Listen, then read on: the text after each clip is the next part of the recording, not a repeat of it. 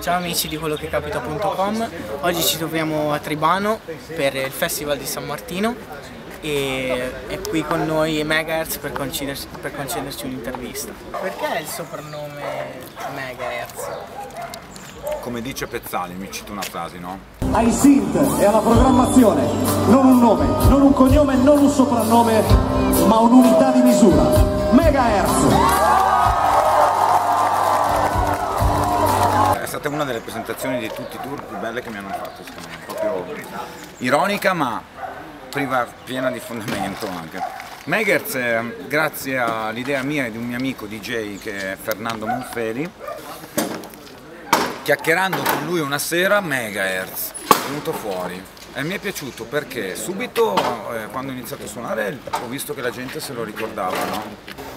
E poi perché era un'unità di, di, misura di fre della frequenza, quindi cose, cioè gli oscillatori, queste cose qua con cui ho a che fare tutti i giorni, quindi megahertz mi, mi è sembrato anche simpatico. Recentemente ehm, ho rivisto, mi è capitato di girare canale, ho trovato su MTV Days mm.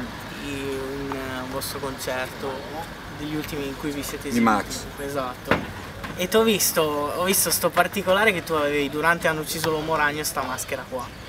E già al, quando, quando sono venuto comunque con Samuele a vedere il concerto avevo notato che eri un po' strano, un po'. Come mai tutta, tutta sta vena artistica? Su?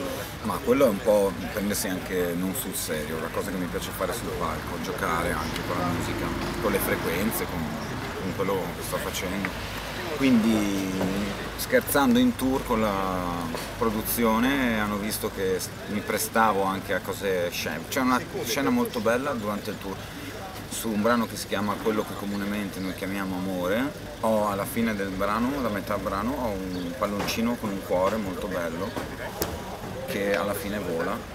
E mi piace scherzare, giocare su un palco poi, perché comunque l'altra parte è il duro lavoro prima, la produzione, le cose, quindi potersi divertire è una cosa bella.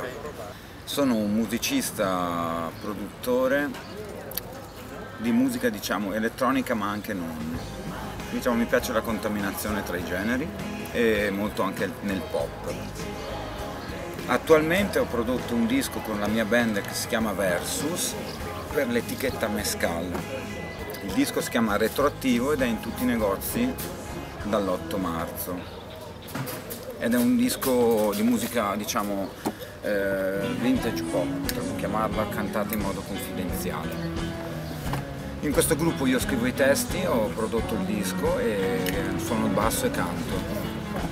A differenza del progetto Megahertz che invece è nato suonando in discoteca nel 2003 credo quindi facendo live in discoteca quando non era neanche di moda questa cosa, anzi era quasi una novità. Finché nel 2004 ho pubblicato il mio primo album da solista, che si chiama Estetica.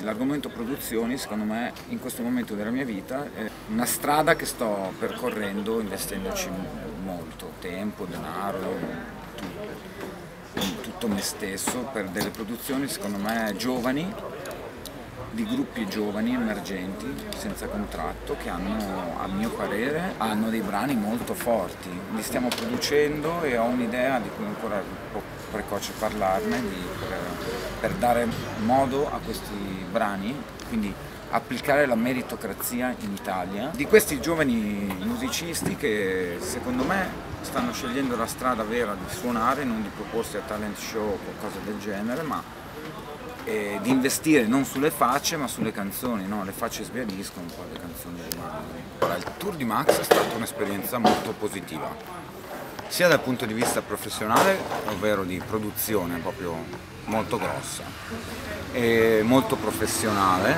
a livello tecnico e c'è stata anche una bella parte umana con Max e, e con la band. La band dei quali tre persone, io ho già lavorato con queste tre persone, ovvero Sergio Carnevale dei Blue Vertigo e Giorgio Mastrocola degli ex La Sintesi, ora eh, chitarrista di Lele Battista. Poi ho conosciuto Ernesto Ghezzi che non conoscevo, Matteo Lavagna al basso e Sergio Maggioni alla chitarra. Stato, ci siamo amalgamati molto, molto bene subito, non in modo serioso, ma in modo anche giocoso, diciamo, no? lavorando sodo, imparandosi una scaletta comunque di 20 e passabrani e, e anche con Max è stato molto spontanea la cosa. Mi piace il mondo, molto il modo in cui sente la musica e, ed è, è, predisposto a sperimentare oggi delle canzoni degli anni 80 per esempio. No? Quindi io ho anche proposto delle versioni un po' remix, tra virgolette, per esempio l'Uomo Ragno e altre cose lui era molto propenso a ascoltare cose nuove, strade moderne, cioè ha, ha un'ottica molto aperta della musica. E poi umanamente ci siamo trovati, è stata una bella esperienza. Infatti adesso sono contento che continua anche l'estivo e tutte hit, quindi un caso rarissimo, lui canta tutte hit che tutti conoscono, cioè ne sono nel nazionale popolare ormai, in una versione moderna oggi, quindi anche dance floor, la cosa mi è, mi è piaciuta. Un saluto e anche un brindisi a quello che capita.com da Mega e ci si vede quest'estate.